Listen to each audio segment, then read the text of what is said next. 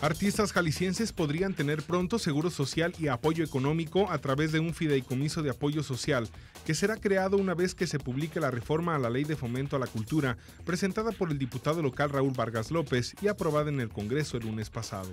Quienes pudieran ser parte o acreedores de algún beneficio que tienen bien ganado los, eh, los artistas son aquellos que se dediquen a esta importante actividad, que lo puedan acreditar, pero esencialmente que no tengan seguridad social.